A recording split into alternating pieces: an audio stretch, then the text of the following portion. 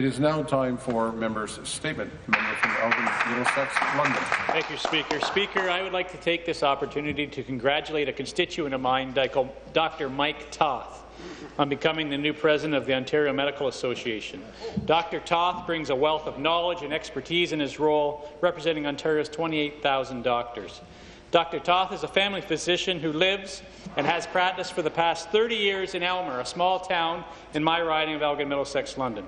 In addition to his busy schedule, Dr. Toth is the medical director of a long-term care facility and a member of the Medical Advisory Committee at the St. Thomas Elgin General Hospital.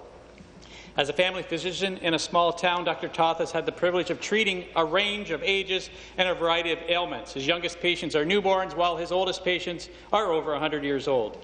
He's extremely proud to represent his colleagues as president of the Ontario Medical Association.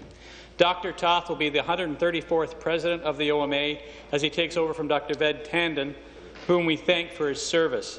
Mr. Speaker, I know that Dr. Toth is excited about the year ahead. In addition to his many OMA-focused initiatives, he would like to see this government come back to the table to work with doctors to continue to provide the health care system that Ontarians deserve and want. Mr. Speaker, on behalf of the Ontario PC Party of Ontario, my colleagues, and especially my constituents from Elgin, Middlesex, London, we'd like to wish Dr. Toth all the best in his new role. We are proud of him, and congratulations. Thank you, Speaker. Thank you. Member statements.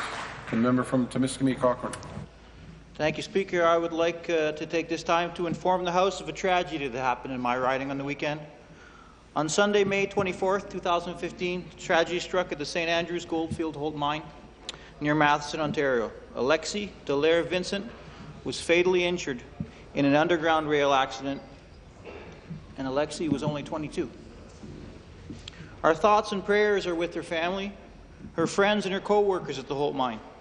Alexi lived in the village of Virginia, Town, where the entire community is mourning the loss of one of their own. And the people of Virginiatown and the surrounding towns of Kirkland Lake and Larder Lake, the Wahgoshig First Nation, Matheson, they have a rich mining heritage. But they also know, they well know the dangers of working in a mine. Miners are proud. Uh, we have miners here, and miners are proud, are proud people. And hopefully we are, we are looking for what the results of the investigation because mining has become very much safer. But with each accident, we look to, to hopefully improve the safety, to have less and less accidents, and hopefully someday eliminate, eliminate fatalities. Our thoughts and prayers go out to Alexi's family this afternoon. Thank you. Thank you. Member Stevens, member from Halton. Thank you, Mr. Speaker. Mr. Speaker, I'm pleased to rise today and speak about a very special event that took place in Toronto earlier this month. Recently, I joined Mayor John Tory, the Consul General of South Africa, the Nelson Mandela Legacy Committee, and students from Nelson Mandela Park Public School to rededicate a stretch of University Avenue as Nelson Mandela Boulevard. For those of you who may not know, the naming of this street has important roots. During a visit in 1990, a few months after he had been released from prison, Mandela led a march along University Avenue from City Hall to Queen's Park. He gave a passionate speech in front of thousands of people. The timing of this naming ceremony coincided with the anniversary of Mandela's installation as President of South Africa in 1994. Mr. Speaker, it was inspiring to see so many people of different backgrounds and ages gathered together to honour one of my personal heroes. It was also touching to hear students from Nelson Mandela Park Public School share some of their stories about the impact that Mandela has had on their lives. Mr. Speaker, we have made great strides in promoting diversity in Ontario. We must continue to work together to eradicate discrimination and inequality in all of its forms. This ceremony was a powerful reminder of the achievements of a great man and of our commitment to building a more inclusive society. Together, we will all walk on Nelson Mandela Boulevard and make this a stronger province for all of us. Thank you. Thank you. Thank you very much, Mr. Speaker. Last year, I had the solemn privilege of taking part in the Holodomor commemoration events to honour the victims of the famine in Ukraine, now recognized as a genocidal famine by Canada and 70 other governments worldwide. This horrendous crime against humanity happened 83 years ago when Joseph Stalin and his henchmen orchestrated severe rationing, then seized all grain and finally locked borders to stop starving Ukrainians from searching for food elsewhere. I've read that during that year, 17 people were dying per minute, with one-third of them being children. Although we may never be able to exact the true loss of life of the Holodomor, it is estimated that total demographic losses could stand as high as 10 million people. Mr. Speaker, I also want to recognize you for your work and efforts in bringing awareness about the Holodomor to Queen's Park, as well as the many MPPs from all three parties for their support in shedding light on this forgotten chapter in world history. We're now tasked with ensuring our young generation is educated and informed about the mistakes of the past, and let these mistakes be their reminder of the need to always remain vigilant in defence of freedom and human rights.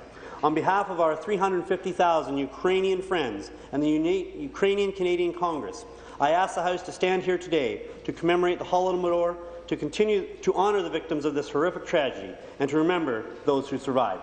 Thank you. Further member statements. The member from Bramalea Gormalt. Thank you very much, Mr. Speaker. Mr. Speaker, today I rise to address the issue of carding.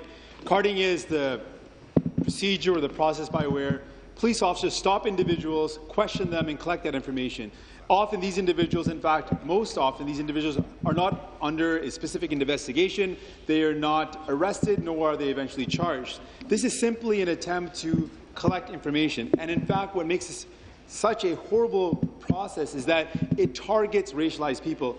Uh, a 2013 report indicated that of all the people carded in Toronto, 25% of the people were black, even though black people only make up 8.5% of the population. This is a specific targeting of racialized people. The law union points out that both black and brown people are specifically targeted, targeted and they're meant, they're made to feel unwelcome in society. Desmond Cole wrote a very telling article and shared his experiences being stopped numerous times and how that impacts one's sense of feeling and belonging in society and how it negatively impacts that. I myself have experienced uh, carding. I've been stopped numerous times, and I assure you I was not doing anything wrong whatsoever. I was stopped while I was riding my bike. I was stopped while walking down the street. Uh, it is a practice that the Canadian Civil Liberties Association has denounced and demanded its end.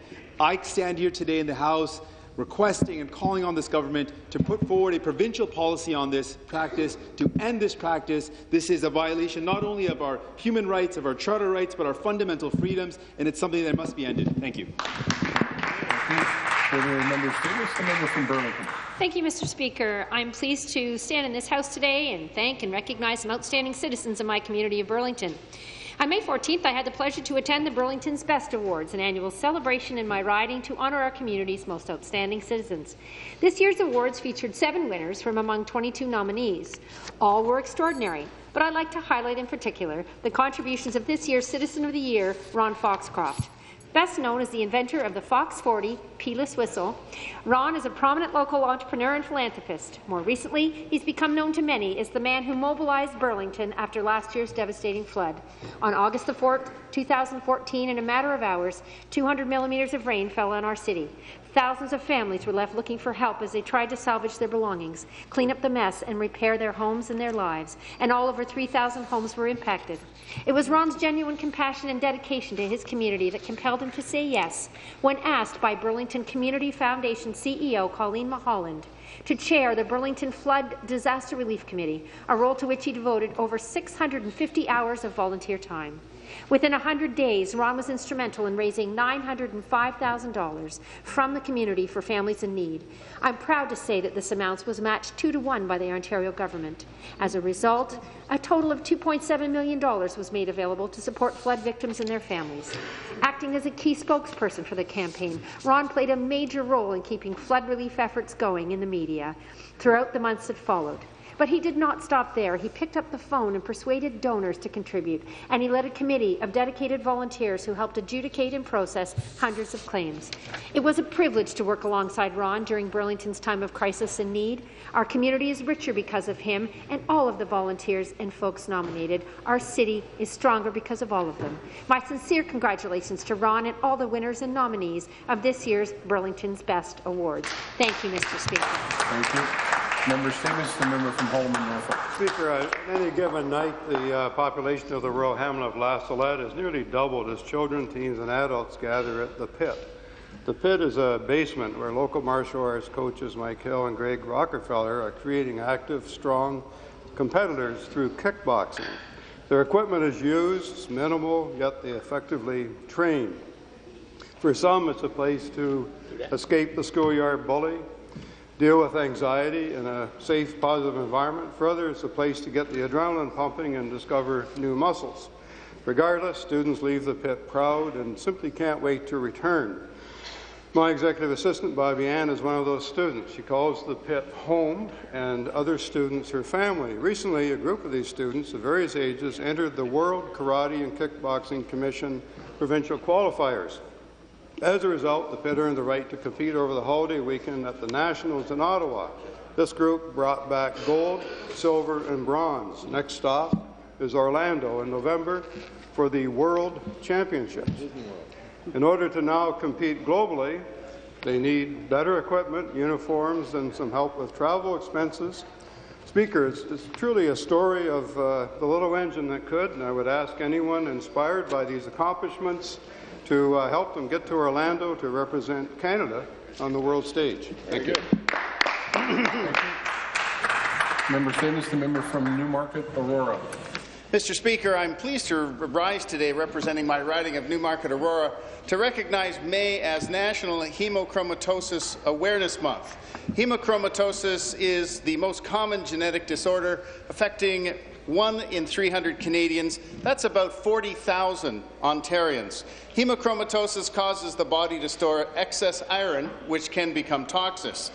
This uh, toxic. This National Awareness Month provides a valuable opportunity to raise awareness of this common disorder, which is frequently not diagnosed.